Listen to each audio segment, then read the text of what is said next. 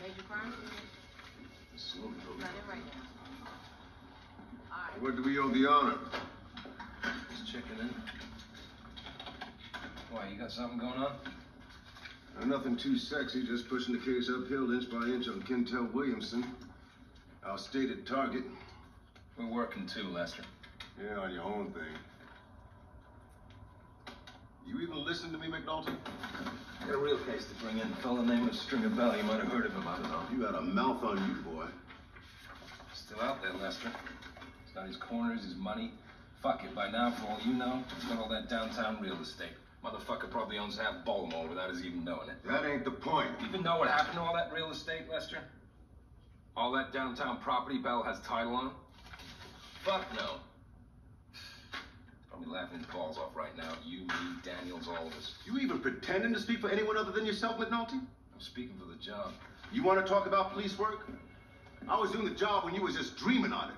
Daniels was out there too. Now you're gonna fuck him when he pulled you off a goddamn boat? He's a boss. Fuck the bosses. Maybe Daniels plays a few games to get by, but he's cost himself plenty for the sake of the job. He's earned some loyalty. Fuck loyalty. Fuck you, Lester. I never thought I'd hear that chain of command horse shit come out of your mouth. Motherfucker, I spent a lot of time in a lot of weak units. More than you. Now, this here may not be perfect, but it's a chance to be police. Well, then be one.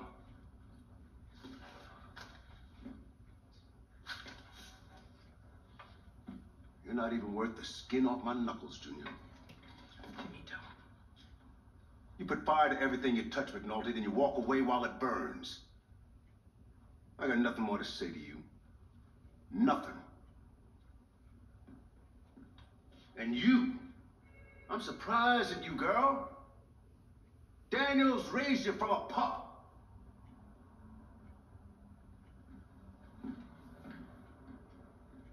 Gotta get with Bob's.